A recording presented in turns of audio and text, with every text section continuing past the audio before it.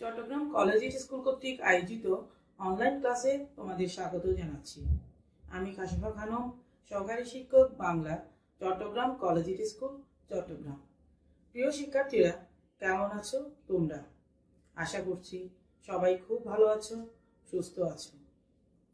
আজ আমি অষ্টম শ্রেণির শিক্ষার্থীদের বাংলা প্রথম পত্রের একটি ক্লাস নিতে যাচ্ছি।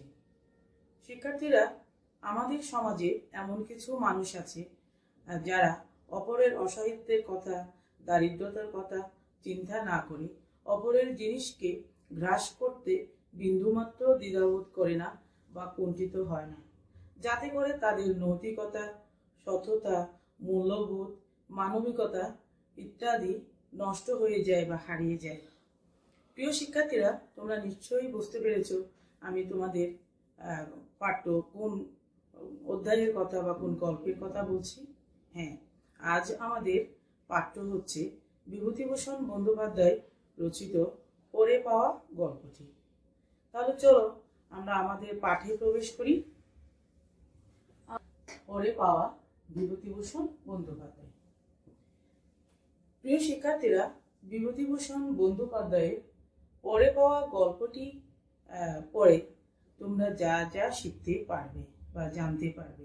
অর্থাৎ এই গল্পের শিকন ফল হচ্ছে, প্রথমত তোমরা বিভূতিভূষণ বন্দ্যোপাধ্যায়ের পরিচিতি জানতে পারবে।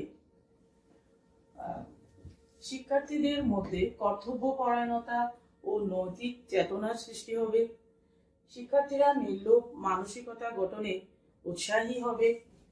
গ্রামীণ কিশোরদের ঐক্য, উন্নত, মানবিকতা বোধ সম্পর্কে তোমরা জানতে পারবে। প্রিয় শিক্ষার্থীরা মূল পাঠে প্রবেশের আগে আমরা লেখক বিভূতিভূষণ বন্দ্যোপাধ্যায়ের পরিচয় জেনে নেব। শিক্ষার্থীরা, বিভূতিভূষণ বন্দ্যোপাধ্যায় আঠারোশো চুরানব্বই সালে মোরাতিপুর গ্রাম, অর্থাৎ চব্বিশ পরগনা জেলার মোরাতিপুর গ্রামে জন্মগ্রহণ করেন। তার মাথুরালয়ে তার পৈতৃক বাড়ি হচ্ছে পশ্চিমবঙ্গের চব্বিশ পরগনা জেলার ব্যারাকপুর গ্রামে। তার বিভূতিভূষণ বন্দ্যোপাধ্যায়ের মাথার নাম মৃণালিনী দেবী আর পিতা মহানন্দ মহানন্দ বন্দ্যোপাধ্যায়, যিনি পেশায় কথকতা এবং পৌরোহিত্যে ছিলেন। বিভূতিভূষণ বন্দ্যোপাধ্যায় উনিশশো আঠারো সালে কলকাতা বিশ্ববিদ্যালয়ে এম এ ক্লাসে যখন পড়ালেখা করতেন, তখন তার প্রথম স্ত্রী মৃত্যুবরণ করলে তার এম এ ক্লাসটা সম্পন্ন করা হয়নি। তিনি পেশায় শিক্ষকতা সহ তিনি বিভিন্ন পেশার সাথে জড়িত ছিলেন। তার অনেকগুলো রচনা আমরা দেখতে পাই। তার লেখায় মানব জীবন এবং প্রকৃতি, অখণ্ড সম্মিলন বা সমন্বয় আমরা দেখতে পাই। গ্রামীণ, সাধারণ মানুষের চিত্র এবং প্রাকৃতিক সৌন্দর্য তার তিনি, তার লেখায় তিনি সুন্দরভাবে ফুটে তুলেছেন। বিখ্যাত লেখক বিভূতিভূষণ বন্দ্যোপাধ্যায়, উপন্যাস, গল্প, ভ্রমণ কাহিনী, তারপর দিনলিপি ভ্রমণ দিনলিপি, কিশোর উপন্যাস ইত্যাদি রচনা করেছেন। তার বিখ্যাত কয়েকটি উপন্যাসের মধ্যে আরণ্য ইচ্ছামতি অপরাজিত পথের পাঁচালী উল্লেখযোগ্য। যে দুইটার মধ্যে যে এই অনেকগুলো উপন্যাসের মধ্যে যে দুইটা, অর্থাৎ অপরাজিত এবং পথের পাঁচালী উপন্যাস দুটি তার শ্রেষ্ঠ কীর্তি পাশাপাশি এই উপন্যাস দুটি বাংলা সাহিত্যের অমর কীর্তি হিসেবে স্থান করে নিয়েছে। তার গল্পগ্রন্থের মধ্যে ম্যাক মোল্লার মরিফুল উল্লেখযোগ্য। তিনি ভ্রমণ কাহিনী লিখেছেন তৃণাঙ্কুর স্মৃতিরেখা নামে দুইটি। আর কিশোর উপন্যাসের মধ্যে চাঁদের পাহাড় আহ, মিসমিদের কবচ হীরামানিক জলে ইত্যাদি। এই বিখ্যাত লেখক মৃত্যুবরণ করেন উনিশশো সালে। বিভূতিভূষণ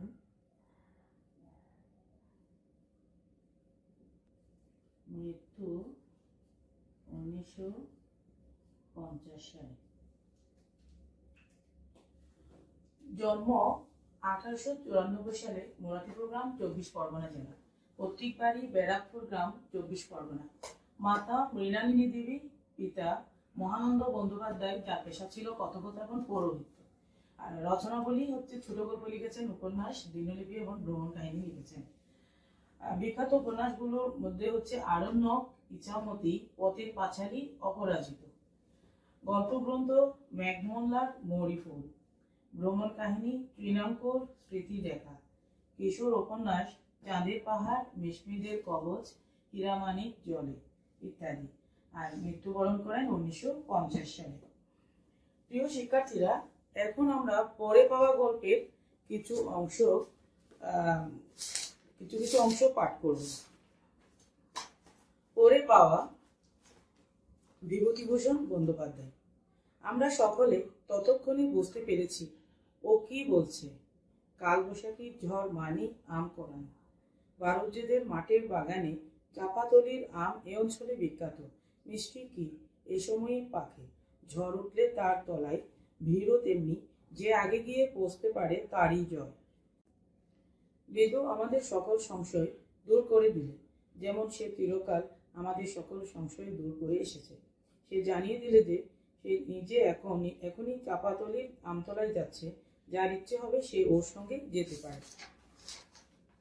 অল্পক্ষণ পরেই প্রমাণ হলো, ও আমাদের চেয়ে কত বিজ্ঞ ভীষণ ঝড় উঠল। কালো মেঘের রাশি উড়ে আসতে লাগল পশ্চিম থেকে।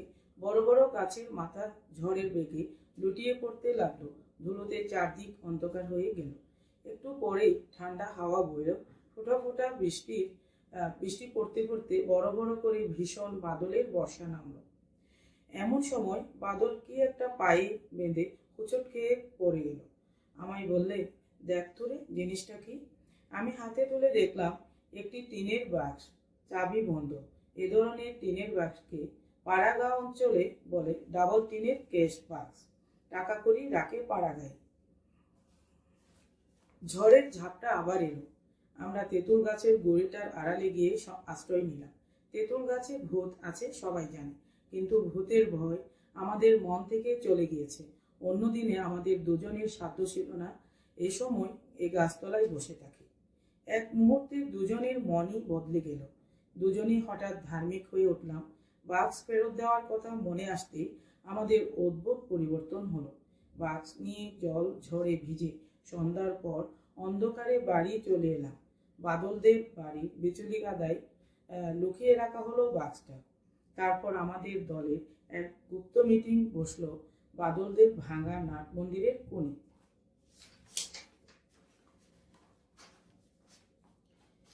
সেবার আমাদের নদীতে এলো ভীষণ বন্যা। বড় বড় গাছ ভেসে যেতে দেখা গেল নদীর স্রোতে। দু একটা গরু আমাদের আমরা দেখলাম ভেসে যেতে। অম্বরপুর চরের কাপালিরা নিরাশ্রয় হয়ে গেল। নদীর চরে ওদের ছোট ছোট ঘরবাড়ি সেবারেও দেখে এসেছি। কি চমৎকার পটলের আবাদ, কুমড়োর ক্ষেত লাউ কুমড়োর মাচা ওদের চরে দু পয়সা আয় তরকারি বেচে।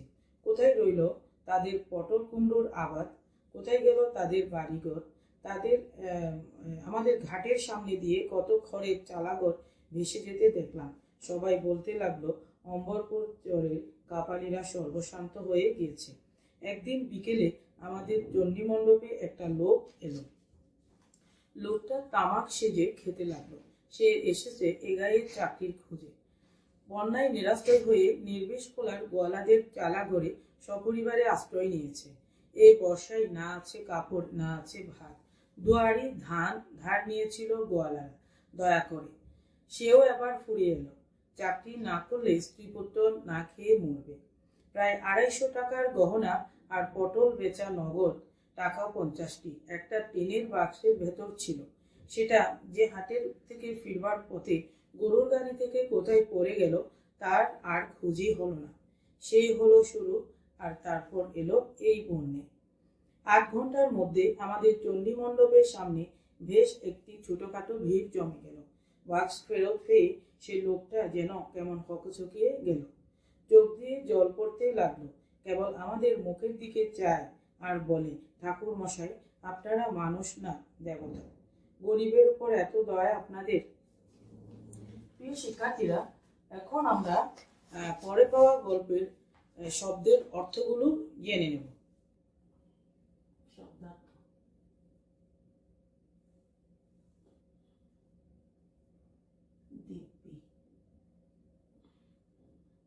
চমৎকার। প্রণাম।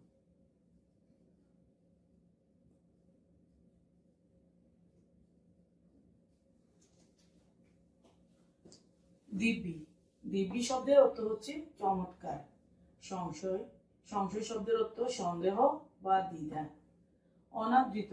অনাদৃত শব্দের অর্থ হচ্ছে অবহেলিত, উপেক্ষিত।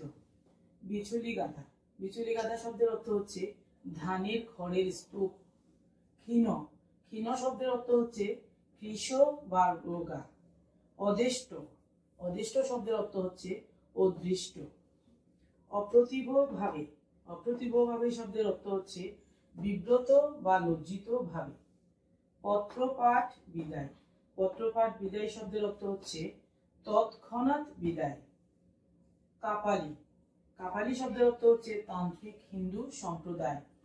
আর দণ্ডবোধ। দণ্ডবোধ শব্দের অর্থ হচ্ছে মাটিতে পড়ে সাষ্টাঙ্গে প্রণাম।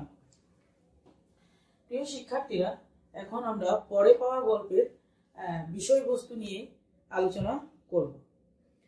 পরে পাওয়া গল্পটি বিভূতিভূষণ বন্দ্যোপাধ্যায়ের একটি কিশোর গল্প, যেটি নীলগঞ্জের ফালমন সাহেব গ্রন্থ থেকে সংকলিত হয়েছে।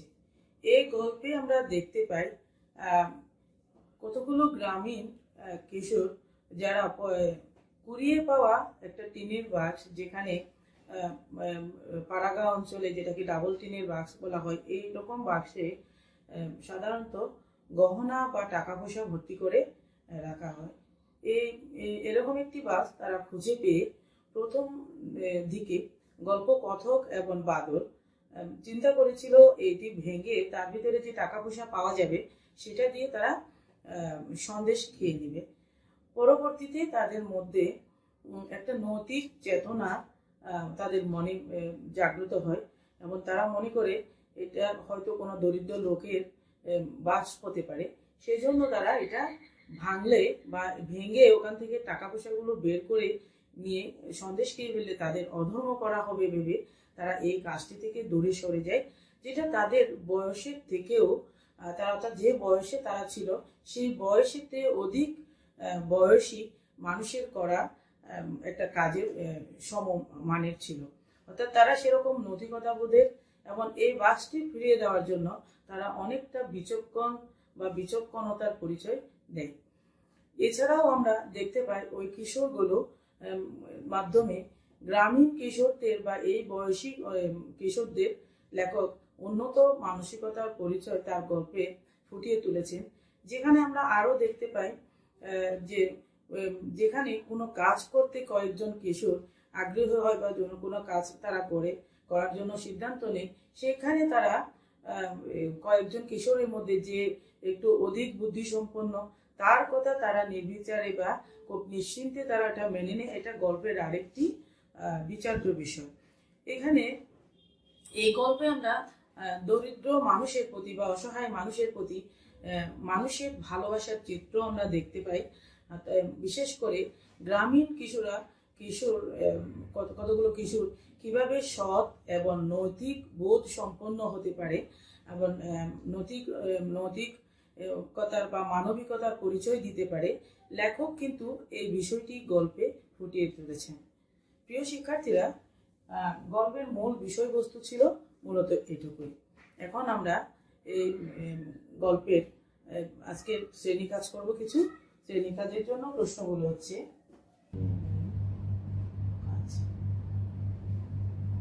শ্রেণির কাজ। এক নম্বর প্রশ্ন হচ্ছে, দুজনই হঠাৎ ধার্মিক হয়ে উঠলাম।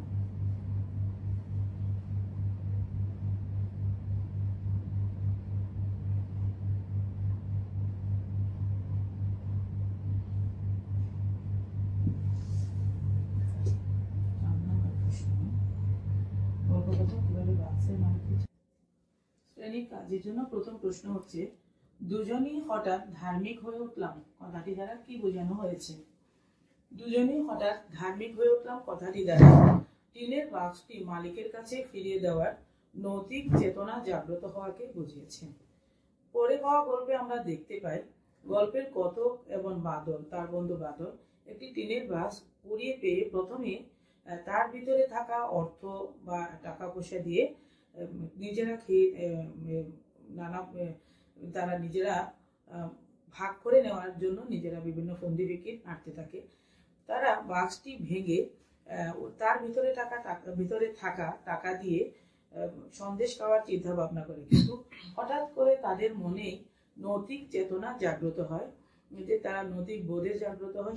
তারা চিন্তা করে অন্যের বাক্স ভেঙে টাকা পয়সা নিয়ে সন্দেশ খেয়ে নেওয়া তাদের অধর্ম হবে এবং তারা চিন্তা করে এই যেভাবে হোক এই বাক্সটি তাদের মূল মালিককে ফিরিয়ে দিতে হবে। এবং তারা যে কোনো প্রকারে সেটা মালিককে খুঁজে বের করে ফিরিয়ে দেওয়ার সিদ্ধান্ত নেয়। এই কথাটি বোঝার, বোঝানোর জন্য লেখক এখানে বলেছেন, দুজনই হঠাৎ ধার্মিক হয়ে উঠলাম। দ্বিতীয় নম্বর প্রশ্ন হচ্ছে, অল্পক্ষণ পরে প্রমাণ হলো, ও আমাদের চেয়ে কত বিজ্ঞ? ও আমাদের চেয়ে কত বিজ্ঞ? অল্পক্ষণ করে প্রমাণ হলো এই কথাটির দ্বারা মূলত বিদুর বুদ্ধিমত্তার পরিচয় দেওয়া হয়েছে। যে কিছু একদিন দূর পশ্চিম আকাশে ক্ষীণ মেঘের গুড়গুড় আওয়াজ শুনে মৃদু তার বন্ধুদেরকে বলল, কিছুক্ষণের মধ্যেই ঝড় উঠবে। কিন্তু তার বন্ধুরা তার সেই কথাকে কোনো পাত্তা দেয়নি বা গুরুত্ব দেয়নি অর্থাৎ অর্থাৎ তার কথাকে মেনে নেয়নি। কিন্তু কিছুক্ষণ পরে যখন দেখা যায় সত্যি সত্যি ভীষণ ঝড় উঠল এবং এ, ভীষণ ঝড় এবং সাথে বৃষ্টি শুরু হলো তখন সবাই বুঝতে পারল এবং স্বীকার করল যে ভিদু তার তাদের চেয়ে অনেক বিজ্ঞ এই কথাটি বোঝানোর জন্যই লেখক মূলত এই তার গল্পে লিখেছেন অল্পক্ষণ পরে প্রমাণ হলো আমাদের চেয়ে কত বিজ্ঞ তিন নম্বর প্রশ্ন হচ্ছে ভূতের ভয় আমাদের মন থেকে চলে গিয়েছিল কেন?